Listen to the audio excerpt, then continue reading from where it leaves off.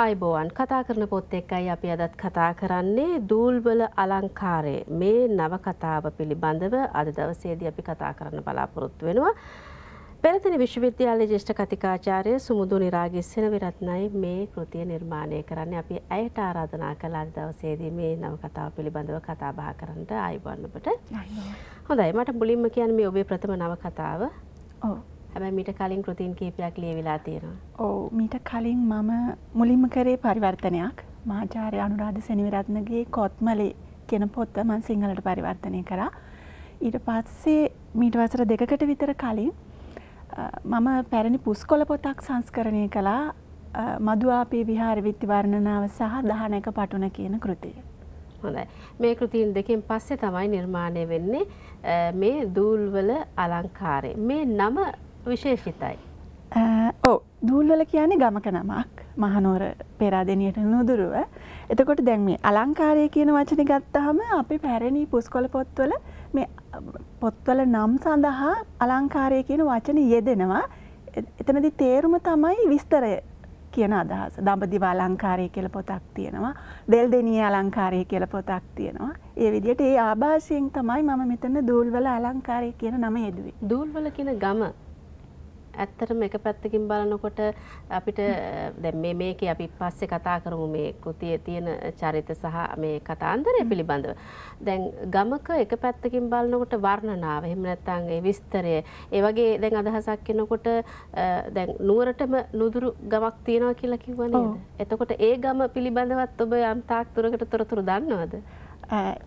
ඒ ගමේ වර්තමාන ස්වභාවය ගැන නෙමෙයි අතීතය ඒ ගමේ අතීතය ගැන යම් යම් තොරතුරු සොයාගන්න සිද්ධ වුණා. ප්‍රථම නවකතාව දැන් ඔබ ලියව් අනිත් කෘතින් දෙකටම වඩා නවකතාව කියන දේ වෙනස් වෙනවා.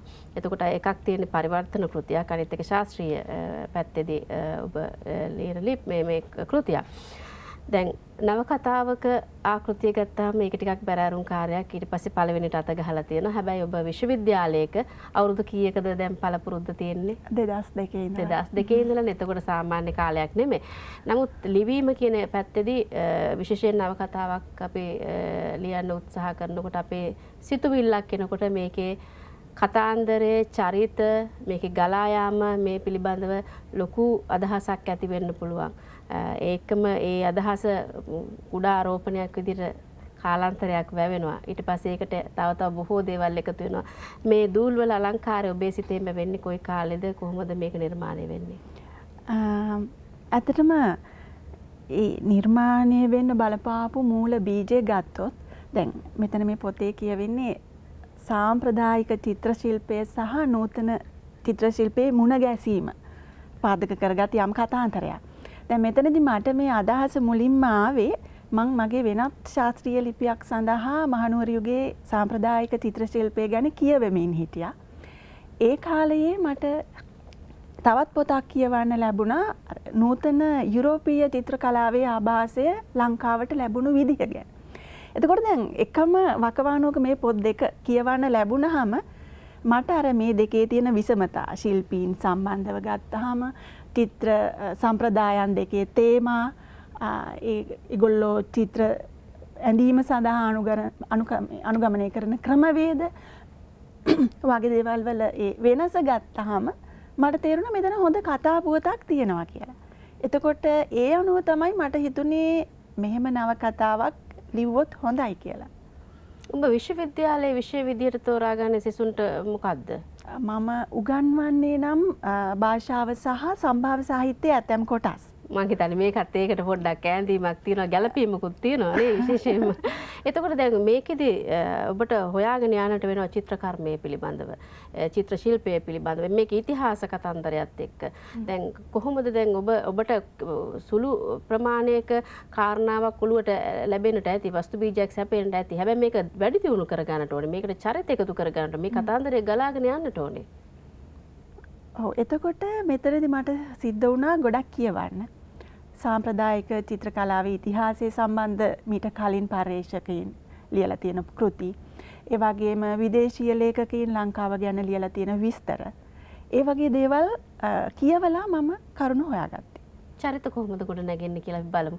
මොකද මේ වගේ අපි ඉතිහාසයත් එක්ක ඈඳුණු විශේෂයෙන් අපි නර්තනය ගත්තත් චිත්‍රකර්මය ගත්තත් අපි සංගීතය වගේ දේවල් ගත්තත් අපේ ඉතිහාසයත් එක්ක අවුරුදු ගානක යට ගියාවක් තියෙනවා අපිට. එකම දේ අපි දැන් මේ පාරම්පරිකව අද වෙනකොට මේවා රැකගෙන ඇවිල්ලාද කියන ප්‍රශ්නේ තමයි තියෙන්නේ. හැබැයි තවමත් අපි අපේ ඉතිහාසය හොයාගෙන යනවා. අපේ ඉතිහාසයේ චරිත හොයාගෙන යනවා. ඉතින් කොහොමද මේ චරිත ගොඩ නැගෙන්නේ කියන එක පිළිබඳව අපි කතා කරමු කෙටි විරාමයක් අරගෙන.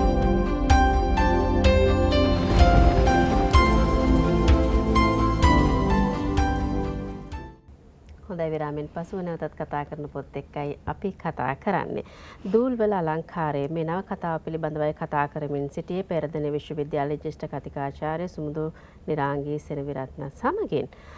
කොහොමද මේ කතාන්දරේ චරිත නිර්මාණය වෙන්නේ දැන් ඔබ ඉතිහාසයේ චිත්‍රකර්මය පිළිබඳව අපේ ලංකාවේ තොරතුරු සහ යුරෝපීය රටවල් වල තියෙන ඒ තොරතුරු හොයාගෙන යනවා. හැබැයි ඊට පස්සේ අපිට මේ හරහා අපි චරිත ගොඩ නගන්නට ඕනේ. ඊට පස්සේ අපි කතාන්දරය ගලාගෙන යන්නට සලස්වන්නට ඕනේ. දැන් මේ නවකතාවේදී මම ප්‍රධාන චරිතය විදිහට තෝරගත්තේ සාම්ප්‍රදායික චිත්‍ර ශිල්පියෙක්. කියන්නේ මහනුවර යුගයේ චිත්‍ර ශිල්පය තමන්ගේ පරම්පරාවෙන් රැකගෙන එන ශිල්පියෙක්. සුරේන්ද්‍ර මාදරේ. ඔව්. එතකොට දැන් මේ කතාවේ මම තේමාව විකාශනය කරන විදිහ අනුව මේ සාම්ප්‍රදායික චිත්‍ර ශිල්පය සහ අර අලුතෙන් එන යුරෝපීය ආభాසයේ සහිත ස්වභාවිකවාදී චිත්‍ර ශිල්පය එක තැනකදී එකට හමු වෙනවා. දැන් මෙතනදී සුරේන්දර නයිදේ එනවා වගේම ඉන්නවා වගේම මට අවශ්‍ය වුණා එයා තමන්ගේ චිත්‍ර ශිල්පය ඉදිරි පරම්පරාවට දායාද කරන්න ගන්න උත්සාහය නිරූපණය රැක ගන්න ඕ එතකොට ඒ ශිල්පය උගන්වන්න ගන්නා උත්සාහය නිරූපණය කරන්න. එතකොට ඊට අවශ්‍ය චරිත කිහිපයක් මං සම්බන්ධ කරගත්තා. එකෙනෙක් ඔහුගේ පුතා ජීවන්න අයිදී නමුත් ඔහු තමන්ගේ සාම්ප්‍රදායික චිත්‍ර ශිල්පය අතහැරලා වෙනත් නව රැකියා හොයාගෙන වර්තමාන සමාජයේ තියෙන ගැටලුවම තමයි. ඔහුට අපි පරම්පරාවේ දේවල් රැකගෙන එන්න හරි අමාරු තත්ත්වයක තියෙන්නේ. ඊළඟට ඔහු තමන්ගේ මුණුබුරාට මේ සාම්ප්‍රදායික ශිල්පේ දායාද කරන්න උත්සාහ ගන්නවා. එතකොට ඒ කුඩා දරුවත් ඉන්නවා මේ නව කතාවේ.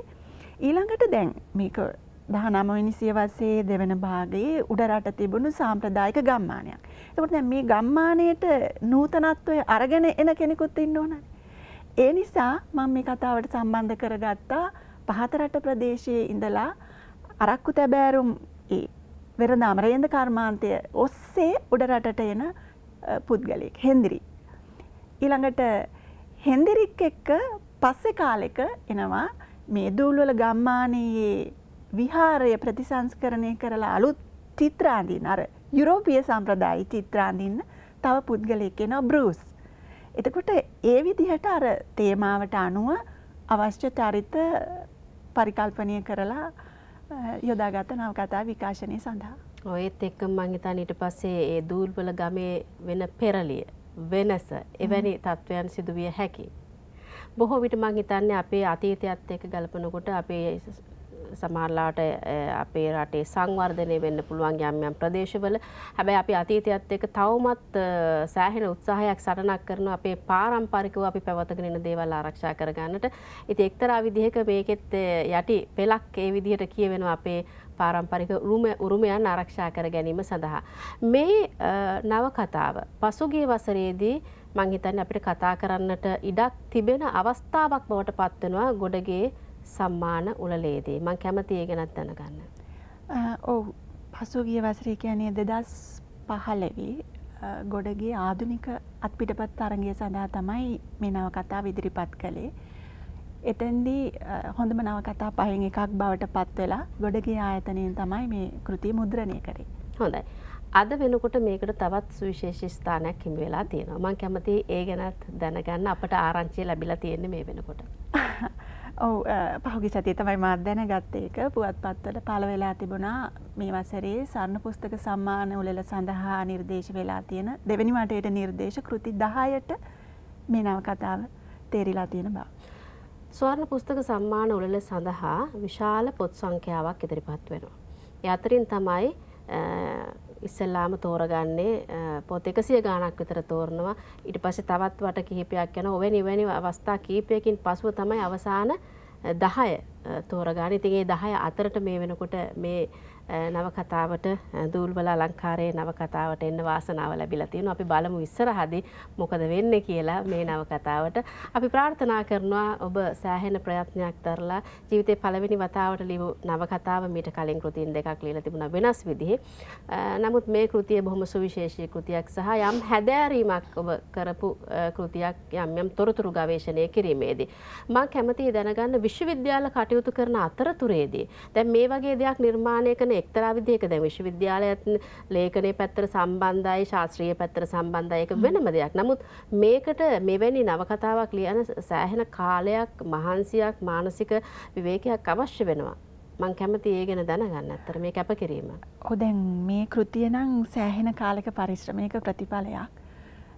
ඇතරම දැන් කෘතිය ලියන්න පටන් ගත්තට පස්සේ අඩක් ලියලා මට ඒක නවත්තල තියන්න වුණා මගේ පශ්චාත්තුපාදී වැඩ කටයුතු අවසන් කරන්න. ඒ කටයුතු අවසන් කරාට පස්සේ තමයි මම නැවත මේ කෘතිය ලියන්න පටන් ගත්තේ. ඉතින් විශ්වවිද්‍යාලය තුළ තිබෙන දේශන ඊළඟට සිසුන්ගේ පැවරුම් පිළිතුරුපත් පරීක්ෂා කිරීම මේ වගේ කටයුතු නිසා කාර්ය බහුලතාවක් තියෙන බව ඇත්ත. නමුත් අපේ ශාස්ත්‍රීය කටයුතු සහ නිර්මාණාත්මක කටයුතු සඳහා ඉඩක් තියෙනවා හොඳ ඉඩක් තියෙනවා. දැ මෙතනදී මේ චිත්‍රකර්මය පිළිබඳ ඔබ විශේෂ හැදෑරීමක් කලා කියලා මොක චිත්‍රකර්මය පිළිබඳව තොරතුරු ඉතිහාසයත් එක ගවේශණය කරනකොට දැන් ඔබ චිත්‍රකර්මයට එක පැත්තකින් යම් දක්ෂතාවයක් තියෙන කෙනෙක්ද. යම් හැකියාවක් තිබුණා පාසැල් අවදියේදී නමුත් ඉන් පස්සේ ඒක වැඩි දියුණු කරගන්න අවස්ථාවක් ලැබුණේ නැහැ. මහිතන්නේ ඒක වැඩි දියුණු නොකරගත්තට තොරතුරු හොයා ගැනීම අවශ්‍යතාවය මේ නවකතා හරහා ඔබට නැවත අවස්ථාවක් ලැබිලා තියෙනවා. දැන් මේ දවස්වල දැන් මේක පසුගිය වසරේ අත්පිටපතක් විදිහට ඔබ ගොඩගේ සම්මානවල සඳහා ඉදිරිපත් කරනවා. දැන් ওই කාලවකවානුව ඇතුළත මේ මේ ලැබිච්ච නිර්මාණයට ලැබිච්ච අවස්ථාවත් එක්ක අලුත් දෙයක් කරන්න හිතුන් නැද්ද? කියන ඔබ අදහස් කරේ තවත් අලුත් නව කතාවක් ගැනද? නව කතාවක් හෝ අලුත් නිර්මාණයක්? මේ වෙනකොට නම් මං එවැනි කාර්යයකට තාම එළඹිලා නැහැ. හැබැයි යම් යම් තොරතුරු එකතු කරමින් ඉන්නවා ශාස්ත්‍රීය කෘතියකට. කුරුණෑගල දිස්ත්‍රික්කයේ කවීන් විසින් ලියන ලද පැරණි කවීන් විසින් ලියන ලද කෘති ගැන පර්යේෂණයක එක තම මූලාරම්භය පමණයි. හොඳයි. අපි ඒ එවැනි අලුත් කෘතියක් පිහිවුණු තැන මේ මැදිරිය ඉඩ ලබා දෙනවා කතා බහ කරන්නට. එපමණක් නොවේ අපි ආරාධනා කරනවා ඔබේ තවත් නිර්මාණ දෙකක් තියෙනවා. මේ පරිවර්තන කෘතියක් සහ ශාස්ත්‍රීය කෘතියක්. ඒ කෘතීන් දෙක පිළිබඳවත් අපි ඉදිරි වැඩසටහනදී කතා කරන්නට අපි ඔබතුමියට ආරාධනා කරනවා. අද දවසේ අපි කතා කළේ දූල්වල අලංකාරය කියන මේ නව කතාව පිළිබඳවයි පෙරදෙණිය විශ්වවිද්‍යාලයේ ජ්‍යෙෂ්ඨ කතිකාචාර්ය සුමුදු නිරාංගි සෙනවිරත්න විසින් රචිත. ඔබට බොහොම ස්තුතියි අපේ මැදිරියට පැමිණියාට මේ කෘතිය පිළිබඳව කතා බහ කරන්නට. ඒ වගේම මතක් කරන්න ඕනේ සැප්තැම්බරයේ දැන් බොහොම ළඟයි. සාහිත්‍ය මාසය. හොඳ පොතපත තෝරගන්න ඔබ සැලකිලිමත් වන්න. ඔබ කියවන දේ වගේ ඔබේ දරුවාට උනත් කියවන්නට හොඳ පොතපත අරන් දෙන්න. මෙවැනි වැඩසටහන් තුළින් අපි නිරන්තරයෙන් ඔබට ඉතාමත්ම හොඳ වටිනා කියන පොතපත පිළිබඳව හඳුන්වා දෙනවා. ඒ විතරක් නෙවෙයි. මේ පොත්පත් නිර්මාණය කරන අපේ ලේඛක ලේඛිකාවන් පිළිබඳවත් අපි කතා බහ කරන ඔවුන්ගේ වතකොත කතා බහ කරනවා. ඉතින් අද දවසේ පණිවිඩයත් සමගින් අපි සමුගෙන යනවා කතා කරන පොත් වැඩසටහනින් ඔබටත් බොහොම ස්තුතියි අපේ මැදිරියට පැමිණියාට අද දවසේදී. එහෙමනම් කතා කරන පොත් වැඩසටහනින් අදට සමගින් යනවා තවත් දවසකදී හමු වෙමු සුබ දවසක්.